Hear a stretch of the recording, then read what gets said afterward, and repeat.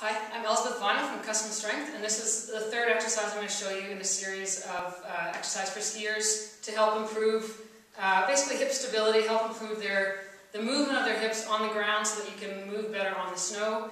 Uh, this one, the series in particular, is for those of you that have uh, diff more difficulty turning one direction than in the other. These are exercises you can do, you know, in your hotel room if you're on a ski trip, or if you've got a ski trip coming in a few weeks. You know, try every day. If you just ski regularly every day, until suddenly you're like, oh my god, my skiing is way better now. Uh, it will happen.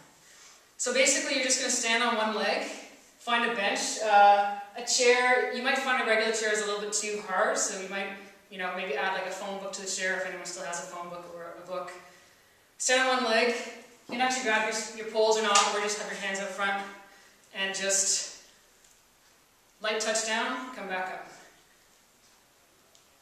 And uh, Ideally, you want to be able to do uh, 10 of these per side. You'll probably find that hard.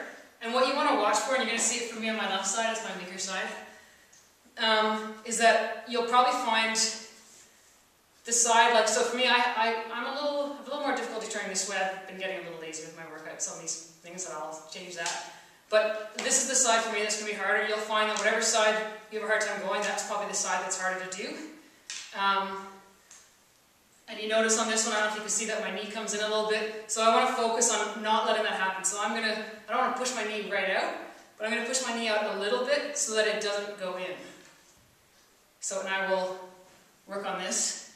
If you find, I'm a fan of working both sides. I think um, it's rare that the strong side is too strong that it doesn't need any work.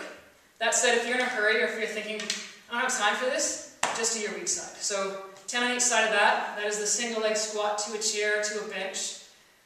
Uh, give that a try. I think you'll find it um, humbling, but it won't take very long for you to get good at it.